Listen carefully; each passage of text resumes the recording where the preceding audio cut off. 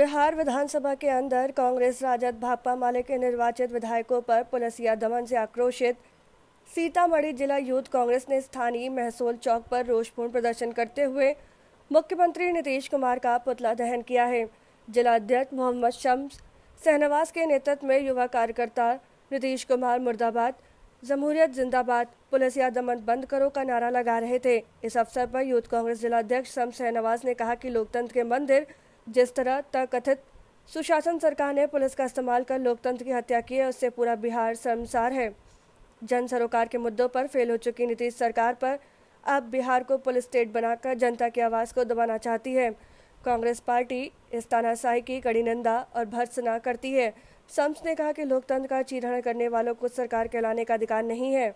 Youth Congress Bihar के राज्यपाल से मांग करती कि विधानसभा में हुई पुलिस या गुंडागर्दी की उच्च स्तरीय जाँच कराकर दोषियों के खिलाफ सख्त कार्रवाई की जाए।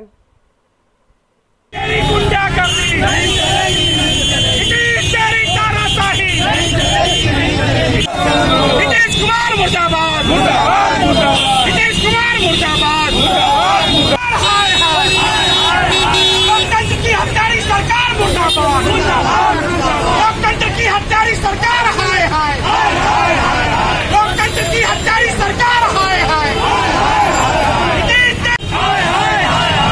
कुमार हाय हाय नीतीश कुमार हाय हाय गुंडा कर दी लोकतंत्र की हत्यारी सरकार हाय हाय लोकतंत्र की हत्यारी सरकार मुर्दाबाद अगर आपको हमारा वीडियो पसंद आया हो तो इसे लाइक करें सब्सक्राइब करें और साथ ही बेल आइकन दबाना ना भूलें।